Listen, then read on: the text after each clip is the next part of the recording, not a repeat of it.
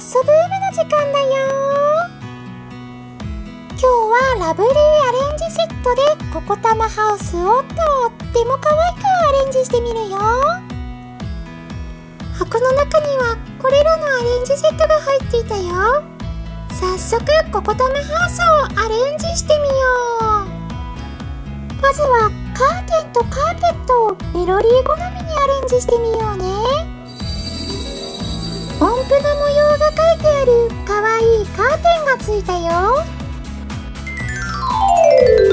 ピアノの絵が描いてあるかわいいカーペットを敷いてみたよ。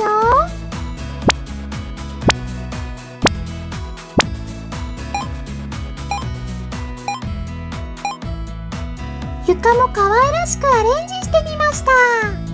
ピロリーもこのアレンジとっても気に入ったみたいだよ。次はキラリス風のおしゃれでキラキラなお部屋にアレンジしてみようね。